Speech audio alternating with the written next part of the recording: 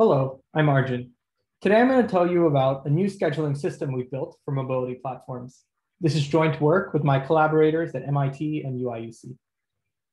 Mobility platforms are the backbones for a number of vital services today, such as package delivery, food delivery, and ride sharing. Demand on many of these platforms has only exploded during the COVID-19 pandemic.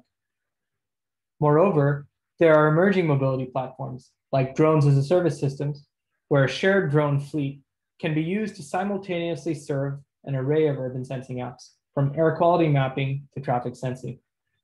In these mobility platforms, the vehicle fleet of cars, vans, bikes, or drones is a shared infrastructure. The platform serves multiple customers, with each customer requiring a set of tasks to be completed.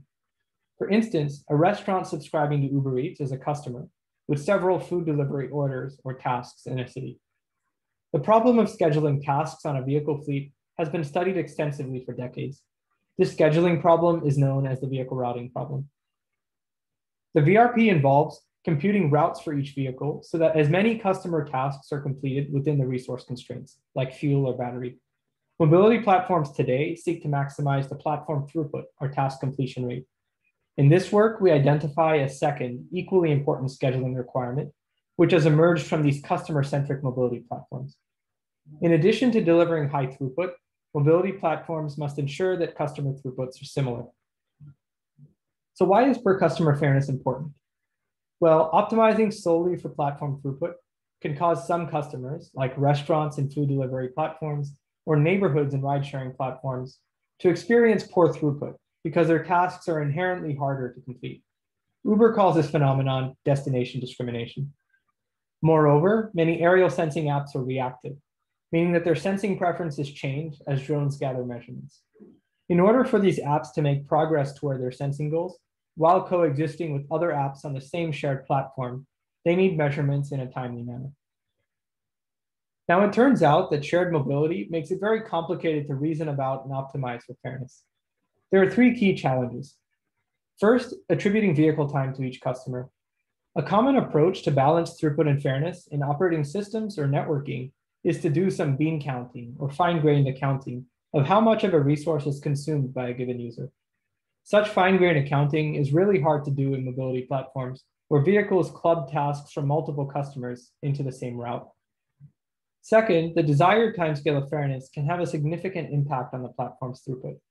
This is in contrast to packet switch networks where scheduling decisions are made over much shorter timescales. And third, Customer, customer demand can have a wide variety of spatial temporal properties that can greatly impact the throughput a mobility platform is able to deliver. In the next couple of slides, I'm going to focus on the first challenge, but we discuss all three at length in our paper. Let's dive into this with an example. Let's say we're a small food delivery service in San Francisco, and we have orders from two restaurants that we want to drop off. We have some boba orders distributed like this, and some samosa orders distributed like so. Let's assume that we have two delivery vehicles that start here. Now let's see what a few different algorithms might do. Here's a schedule that maximizes throughput. Notice that the vehicles gravitate toward the more clustered boba orders, delivering a few samosa orders along the way. One straw man to achieve fairness is to round robin between customer tasks. Notice that while the restaurant throughputs are equal, the total throughput is low, because the vehicles waste so much time traveling. Another approach is to dedicate a vehicle to each restaurant. This would give each restaurant equal vehicle time, but it misses out on any incentive to share vehicles across customers. For instance, the platform could have gotten higher throughput if the red vehicle were allowed to pick up some samosa orders on the way to the cluster of boba orders, since this would have freed up some time on the blue vehicle. What we want is something more like this. Notice that the max uh, that the throughput is split roughly equally amongst customers. At the same time, the total throughput is similar to the max throughput algorithm. A key takeaway from these examples is that when we decide to share a vehicle amongst multiple customers, it becomes really hard to attribute vehicle time to customers and therefore reason about fairness. So to solve these challenges, we introduce Mobius, an online scheduler that provides provably good throughput and fairness. So here's the problem we're trying to solve. We have a bunch of tasks from different customers, and we have a fleet of vehicles. Our goal is to plan routes for each vehicle for some horizon into the future, say 30 minutes. And then we execute those routes for some time, say 10 minutes. Now in these 10 minutes, some new tasks may have arrived. So it's time to replan again. And we repeat this process, incorporating new tasks and replanning at regular intervals. Now, let me simplify this example a bit to give you some intuition for how Mobius works. Let's say we have two customers with the tasks distributed as shown in the map here, and the vehicle start here. We're interested in computing 10 minute round trips, and for simplicity, we assume that all tasks are renewed at the start of each round trip. We'll revisit these assumptions in a few slides. We're going to visualize the schedules in terms of their per customer throughputs on this chart here. The X and Y axes show the throughputs for customers one and two respectively. Each dot here corresponds to a feasible 10 minute round trip schedule. We compute each feasible schedule by invoking the VRP solver. So it's computationally expensive to generate this entire feasible set. This point here corresponds to the schedule with maximal throughput. Notice that it favors customer one, since its tasks are closer to the start location and thus easier for the vehicles to fulfill. We call the schedules along the y equals x line fair, since they all deliver equal throughput to both customers. Now, there's no reason to want to schedule in the interior of this feasible set. Rather, we're only interested in schedules on the Pareto frontier. In this example, the schedule B is a fair Pareto optimal schedule. However, notice that its total throughput is low since a vehicle is forced to make a special trip to customer two's cluster. The max throughput schedule fulfills four more tasks per round than this fair schedule. Now, can we do better than this? Specifically, can we achieve higher throughput while still being fair? Now, the turquoise line shows the convex boundary over the feasible set, defined by the corner points A, C, D, and E. Formally, the convex boundary is the smallest polygon around the feasible set, such that no vertex bends inward. Now, in instead of the schedule B, we'd actually prefer this schedule, since it has higher throughput and is just as fair. Let's call this allocation the target throughput. Notice that it's not feasible in the current round, but I'm going to show you how Mobius can achieve this target throughput at a slightly longer time scale. The key idea is that as we look at this problem over multiple rounds, the set of feasible throughputs becomes denser, and the Pareto frontier starts to approach the convex boundary. Now let's see how Mobius can reach this target throughput. We're going to do this by looking at the long-term or average throughput achieved by Mobius over time. Mobius picks schedule A in the first round since it's the corner point that's closest to the target throughput. After the first round, the long-term throughput is also at A. Now recall in this example that we're doing 10 minute round trips and that the tasks reappear at the same location. So in the next round, Mobius chooses C. So this moves the long-term throughput to the midpoint of the line segment AC. Notice that it's already gotten closer to the target throughput. In the third round, Mobius picks A. Now the long-term throughput is even closer to the target throughput.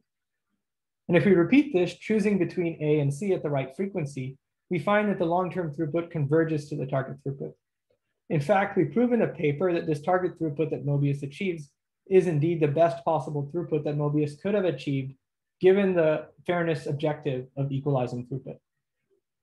Now, the analysis in this example was simple because the environment was static, which means that the convex boundary remained unchanged from one round to the next. In practice, though, environments are more dynamic. Customer tasks may not recur at the same location, and vehicles need not return to their start locations as frequently. So let's consider a modified example where tasks are generated randomly every three minutes, according to the distribution shown in this map. We want 10 minute routes that aren't round trip this time, and we'll replan every three minutes to incorporate any new tasks that have arrived. Let's look at the convex boundaries at each three minute replanning interval. Notice that they hover around a fairly narrow band, indicating that we can still track that target throughput reliably.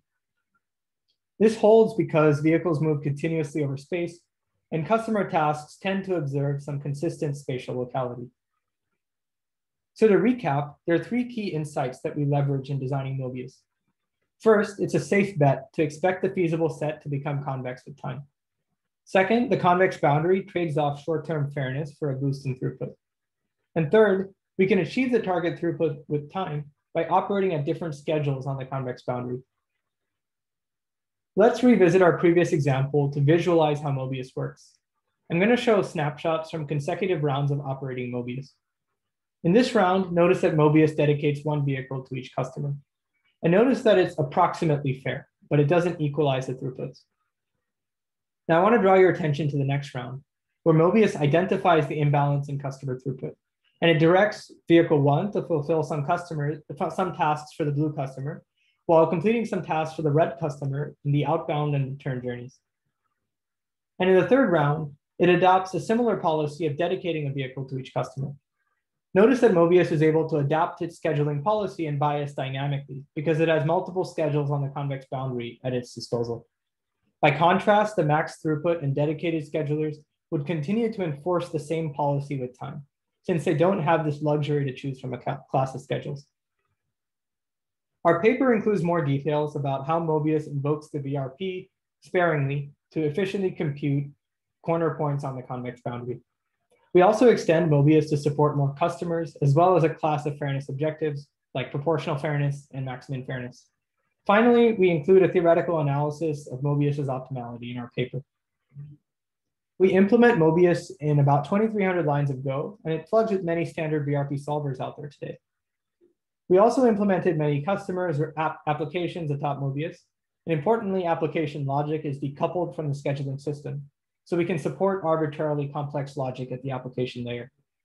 Our source code is available on GitHub, and we encourage you to take a look. Now we evaluate Mobius on two real world case studies, and I'll discuss some of the highlights from our evaluation in the next few slides. In one case study, we applied Mobius to ride sharing. We obtained a 13 hour trace of time-stamped Lyft ride requests in Manhattan, and this included over 16,000 requests across 40 neighborhoods or zones. The 40 zones are demarcated on this map. Each request included a pickup location and drop-off location, and we constrain a vehicle to carry at most one request at any given time. We consider a fleet of 200 vehicles. We wanted to see if Mobius could be used to solve this problem of destination discrimination that motivated this work. More specifically, can we fulfill pickups from all zones equitably or do maximum fairness? This plot visualizes the demand where each arrow represents a pickup drop-off pair and the color of the arrow indicates the volume of ride requests with those pickup drop-off locations. Notice that, notice that the volume varies significantly. For instance, a large fraction of requests arrive into and depart from lower Manhattan. Further, some zones in upper Manhattan have as few as 15 outbound, unique outbound trajectories, while other zones have hundreds. Let's see how different scheduling algorithms compare. On the bottom chart here, I'm showing the long-term average throughput achieved by different schemes after 13 hours. On the top, I'll show a heat map of the average throughput in each zone. Ideally, we'd like a heat map with bright colors, meaning high throughput, and a, homogeneous spread of colors, meaning that it's fair. We'd also like a bar chart with large, evenly sized blocks. Notice that the max throughput algorithm derive, uh, divides the throughput very unevenly across zones. While it serves nearly 200 rides per hour out of zones in lower Manhattan, it virtually starves zones near Central Park. The schedule that dedicates vehicles shares the platform throughput evenly across zones. You can see this both with the evenly sized blocks in the bar chart and the fairly homogeneous heat map. Notice that it achieves about 40% lower platform throughput than the max throughput scheduler. Mobius, by contrast, strikes the best balance between throughput and fairness. It provides roughly equal zone throughputs and compromises only about 10% of the maximum platform throughput. Now, compared to dedicated vehicles, we see that Mobius achieves higher throughput for most zones by identifying an incentive to, share, to chain requests from different zones. So for example, Mobius combines two requests from different zones into the same trip when the drop off of the first request is close to the pickup of the second request. We also evaluate Mobius on a real drones as a service deployment in Boston. And I encourage you to check, our, check out our paper to learn more about the results. In building Mobius, we characterize the tension between throughput and fairness caused by shared mobility. And we discover that the convex boundary strikes the right balance between the two. We deployed Mobius on two railroad case studies and showed that Mobius can simultaneously provide high throughput and fairness in its vehicle schedules and also operate at citywide scale. Thanks for listening, and uh, please visit our website to give Mobius a try.